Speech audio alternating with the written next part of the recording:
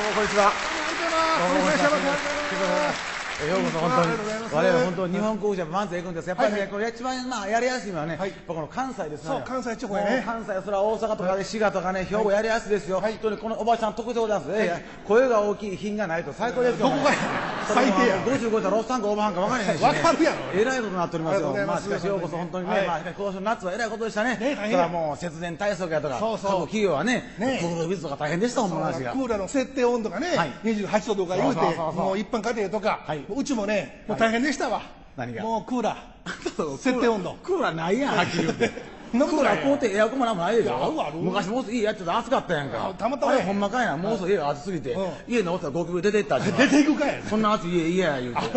まあしかしほんまそれはもう大変でございますよほんでまたねこの企業なんかも大変ですわ。ほんま話が。節電対策せないように。あ節電対策せないそう、か対策せないけませんからね。はいでまずそういうようにもう、あ、ようさん儲かってる会社、工場会社照明落としたりとか、落としたりするわね終始トントンのから電球外したり。します。一番困ったんがね、はあ。赤字の会社。はあ、電気使われへんかはあ。ら、ろうそくですよ、まあ。ろうそくってそんな。パソコン、パソコンを押すときにねこうあの、おおでこパッと焼けどしたりなんかして、この辺前の木焼けたりなんかするんですよ。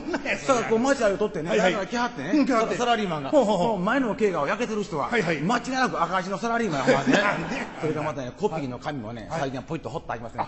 これはわかりますよ、はい。コピーコピー用紙の裏をね、はい。この例えばこうメモ用紙に使ってほんでゴミ箱に捨てるんですよねあれ。これはあんた贅沢やがな。これ贅沢。さ黒字の会社やんか。どういうことやねんな。あのね、その、そのね、言うように、周知トントンの会社は、裏表使うた後、あとそれで、鼻をかまんかいな。鼻を。ちょっと待ちやそれあんたそれ鼻かんだそれ髪が硬いから鼻血が出るやん。よう知ってんね。やったことあんねやってんのかい。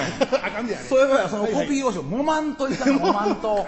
もむね、もむね。もんでもんで鼻をかんで捨てるわけや。贅沢やんまたかやどうやねん。なそれは儲かってるからつまりね、赤字の会社はね、そのもんだや鼻かんだやつをもっぺん広げて広げて。それを窓へ貼らんかい汚いななそれ。なんで窓貼ったら日光入ってけえへんし一石二鳥やないの。あかんあかん。ほんでそれそれからどうすんの？それをまたう。ん乾いたら剥がして、これぐらいの幅に切るわけやあ切 10, って。10センチぐらいかな、幅に切って、ほんで端っこをご飯粒が弁当に残るでええわいな、うんうんはいはいはい。海苔かなんかで貼ってこの細長い紙を作んねほうほう。わかる？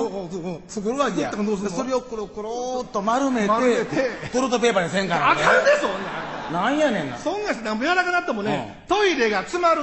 よう知ってんな。やりました。やっとったんかい何でもするねあんた 節約。はいはい。まあしかし厳しいですけどね、はいはい。この厳しい中でも、各企業の社長さんはね、なんとか従業員と一緒に慰安旅行行きたい言って一生懸命頑張ってあるわけでございます。すいませんここはあの旅行会社ですか？いらっしゃいませ。あお願いします。お客さんですか？旅行会社。待ってました待ってました、はいはい。えあお宅あ旅行行きたい？はい。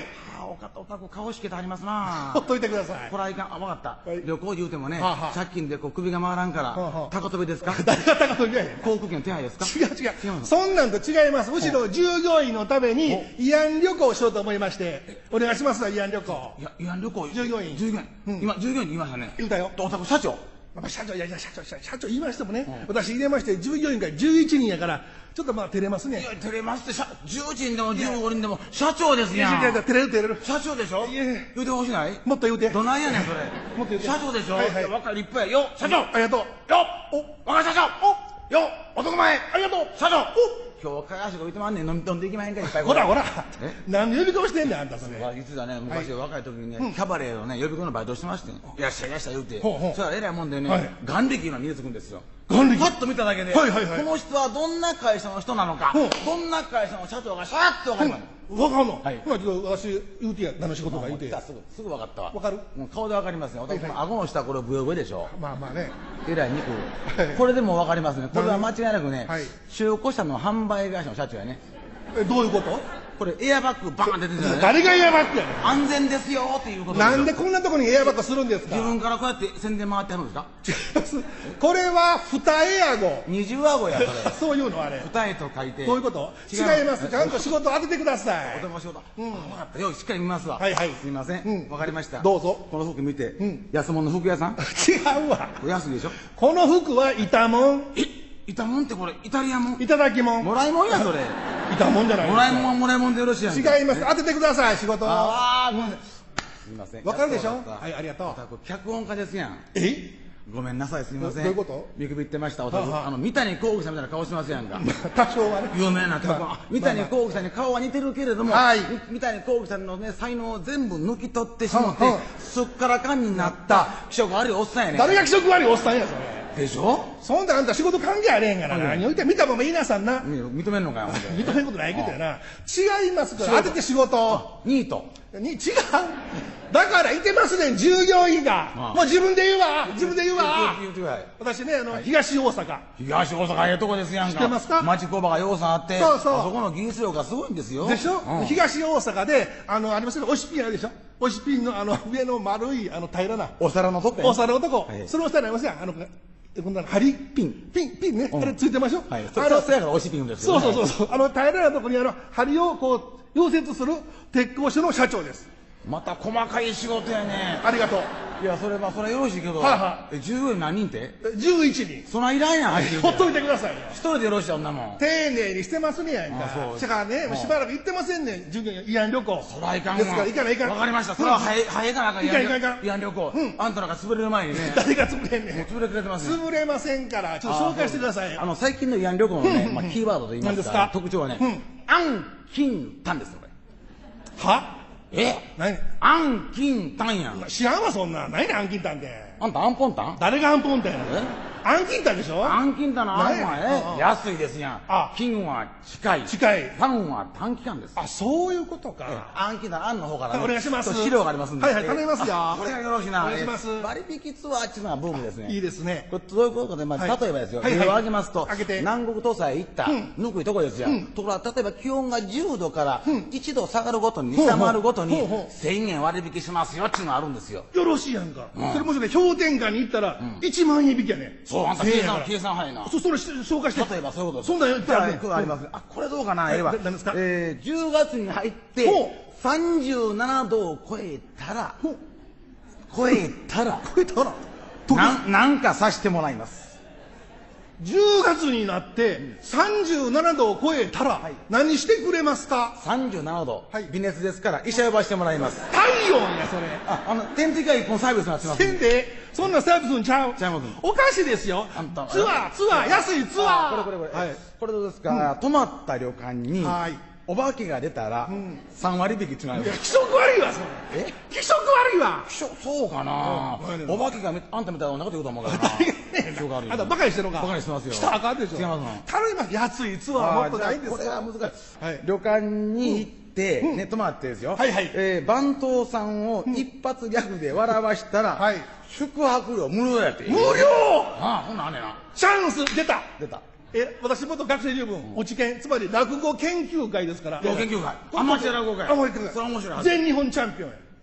それ嘘言わんといてください大丈夫。大丈夫。ねちょっとじゃあじゃどういうのバランスですか？これでも番頭さん来ますやんか。番頭さん来た。いらっしゃい言うた後にですよ、はい。じゃあ、はい。きますよ、はい。れ練習。やってみましょう。リハーサルや、はい。番頭さんが来た。笑わしたら無料やね。いらっしゃい言うた。はいどうぞ。はいどうぞ。あ番頭さん。あ番頭の仕事は朝と昼と番頭それリリハーサルですか？リハーサルしたあの罰金もうてよろしいかね？なんでバッキやねんなあんた3万5千円ほど。思いっきりやったけど。え？あでもう一個あんねん。ほんまですよ。本格的そんなんでやんない中学頃割れました俺は。割れましなんですよ。誰が割りましいきますよ。はい。バンドさんが来た。ほんまにやるよ。いらいらっしゃい言うてはい。わざありますね。バンドさんやね。お金かかってんねんそれではどうぞ。あ番頭さん。どうも番頭エイジです。ゆでゆで卵おいしいな。番頭はいほんま帰ってくださいほんま。もう限界来ました。はい。そらあかんわ。あんたねもう見てあかんわ。もうこれねあの割引ツアーやめときますわアンケの案やめるわ。やめた。じゃああの金行きましょう。金。中心に。金ということ近い方。近いとこはいはいはい。近いとこ過ぎ近いとこ好き。ほんならうち来なはれ。どこ？裏。近すぎやわ繋がってます店とこ。いやそんな。はい。短期間すぎますから。うちはね。頼むでほんまに。帰るでもう。ちははっきり言いますよね。あの店舗は小さいですけどね。店舗は小さいけど。も。ねあんたその代わりねええとこあんの？え信用がおまへんねん。ないんかいなその会借金があるんですよ。あんのかいなそれ。どうやめちゃめちゃやなあんたの会社ほんなら短期間やしうちお茶飲んで帰ったらあん金短期間でそお茶飲んで短期間するからええのに紹介しもうてこれしかない。これはねあんまり出してなかったよね、もうこれ出します？ってそれやってくださいじゃあ行きますわ、はい。白浜温泉、はい知ってます？知ってるわそれ私。あアホやないねんから。知ってますよ。白浜温泉はい。一泊二日、うん。お一人様ほ1万円。え安いツアーや。えー、1万10名様限り円じゅ。えーもう一回言うて。もう一回言うて。1万円はい。で10名様限り。これもうええやん。いやいや1万円でじじ10名。10名。惜しいわ。何が惜しいの？いや私言いましたさっき私含めて従業員が11人やねん。だから1人行かれへんやん。ちょうどよろしいやんか。なんでやねんな。経費削減でしょ？お宅留守番しときなはれ。ええ加減にせやありがとうございました